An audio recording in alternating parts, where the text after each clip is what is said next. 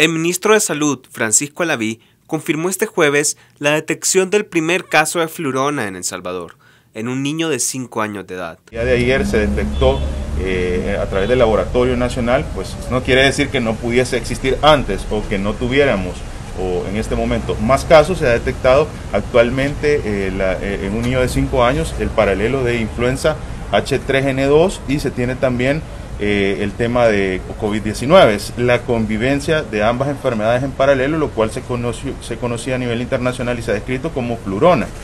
Estas declaraciones se dan apenas un día después que Alaví admitiera que tenían confirmación de la presencia de la variante Omicron desde diciembre pasado, pese a que el martes había dicho que no tenían información. El titular de salud no descarta que puedan haber más casos de flurona entre la población, a pesar de esto, y en la circulación de Omicron junto con el ascenso de los casos, el ministro descartó endurecer las restricciones de bioseguridad para ingresar al país.